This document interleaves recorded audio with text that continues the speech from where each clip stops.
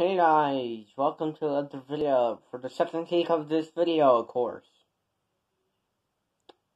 And and this is the second case that I have to do again. So yeah. So in this video, I will be reviewing my new anime search as you can see the top of it. That I got yesterday at uh here let me show you guys right there. You can see by my neck and my size is is uh, 2XL.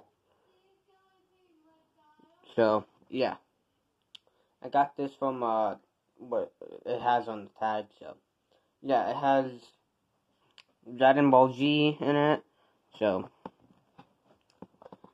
let me show you guys the shirts I got and yeah, it has Goku and these other three people that I don't know. So yeah, it doesn't have anything on the back.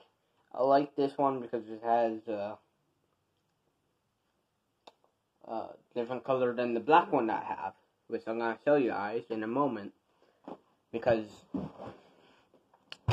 cause talking about Dragon Ball, I I'm started to be Dragon Ball Super and I'm still in chapter 1. I'm on page 19, which I'm not going to show you guys because I don't want to get copyrighted, of course.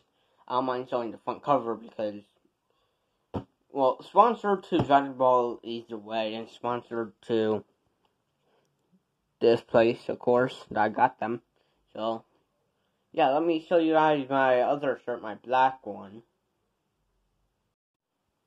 So, yeah, I do have my black shirt on my Goku one. I recorded this clip, then while I'm editing, the the clip just got deleted somehow while I'm editing. So yeah, I got this shirt at you know I already said in the first clip. Sorry, my sister was bothering me. So yeah, I did got this shirt and yeah, let me show you guys. It has Goku right here. I don't feel like getting onto my top of my bed and showing you guys because what's the point? And yeah, Goku and uh, whoever this person is. Yeah, I have the second manga of Dragon Ball Super, and yeah, I started to read this, and it's Monster to Dragon Ball, and the person I know said that, but still, so yeah, that that's mostly it for this video. Love you all. See you guys in the next video whenever I post.